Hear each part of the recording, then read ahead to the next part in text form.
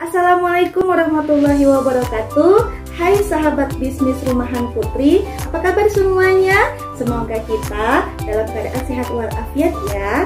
Hari ini kita mau memperkenalkan diri loh secara langsung kepada teman-teman semuanya. Nama saya Putri dan suami saya Vicky, hai, apa kabar semua?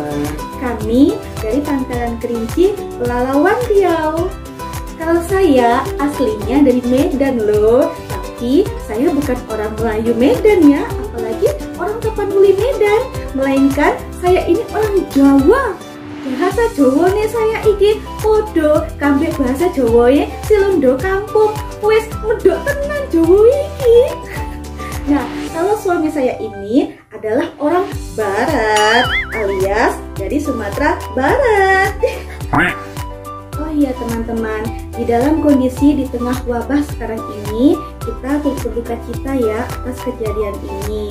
Dan kita juga mendoakan semoga wabah ini segera berakhir dan semoga Allah Subhanahu wa taala mengampuni dosa-dosa kita semuanya.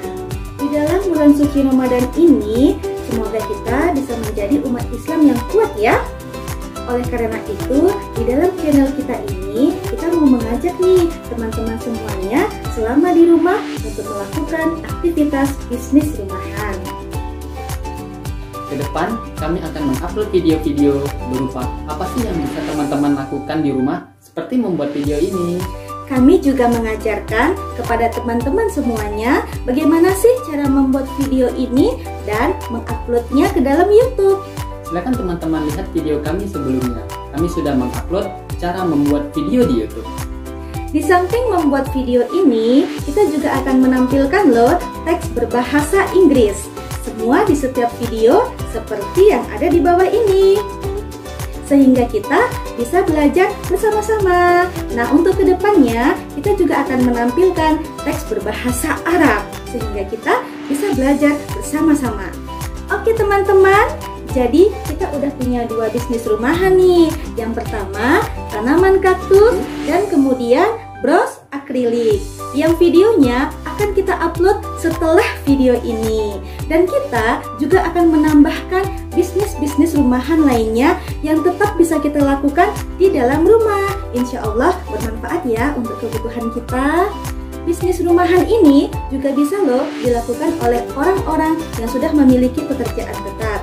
Contohnya, saya dan suami saya. Kami sudah memiliki pekerjaan tetap, tapi kami masih mau melakukan bisnis rumahan. Ada catatannya ya guys, untuk melakukan bisnis rumahan sebaiknya kita tidak mengganggu jam pekerjaan tetap kita ya. Selain jam pekerjaan kita itu sudah mempunyai hak atas diri kita, kita juga bisa lebih fokus loh untuk mengerjakannya. Jadi, kalau pekerjaan tetap kita sudah selesai, baru kita mengerjakan bisnis rumahan kita. Insya Allah ada berkahnya ya guys. Cukup sekian dulu ya perkenalan langsung dari kami. Jika teman-teman ingin menanyakan sesuatu kepada kami, silahkan tulis di kolom komentar ya. Jika teman-teman merasa video ini bermanfaat, silakan like, share, dan subscribe. Terima kasih. ya. Sampai jumpa.